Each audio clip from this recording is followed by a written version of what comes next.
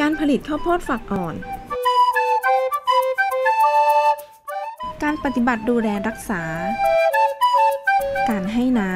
ำ ให้น้ำทันทีหลังปลูก เพื่อให้เมล็ดงอกได้อย่างสม่ำเสมอ และให้น้ำสม่ำเสมออย่างน้อยทุก 7-10 วัน วิธีการให้น้ำมีหลายวิธีคือ การให้น้ำแบบพ่นฝอย ให้น้ำปล่อยตามร่อง ให้น้ำในร่องสวน หรือให้น้ำปล่อยท่วมตามภาพ การถอนแยก เมื่อข้าวโพดฝักอ่อนมีอายุ 10-14 วัน ควรถอนแยกให้เหลือ 2 ต้นต่อหลุม การใส่ปุ๋ย แบ่งใส่ 2 ครั้ง ครั้งที่ 1 ใส่ปุ๋ยเคมี 15-15-15 รองพื้น อัตรา 67 กิโลกรัมต่อไร่ ก่อนการไถแปร หรือไถพวน หรือก่อนการหยอดเมล็ดพันธุ์ ครั้งที่ 2 เมื่อข้าวโพดฝักอ่อนมีอายุ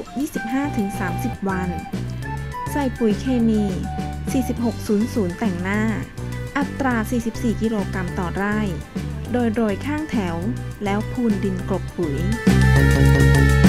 การถอดช่อดอกตัวผู้ เมื่อข้าวโพดฝักอ่อนมีอายุประมาณ 35-45 วัน ให้ทำการถอดช่อดอกตัวผู้ สอบถามข้อมูลเพิ่มเติมได้ที่หน่วยงานของกรมวิชาการเกษตร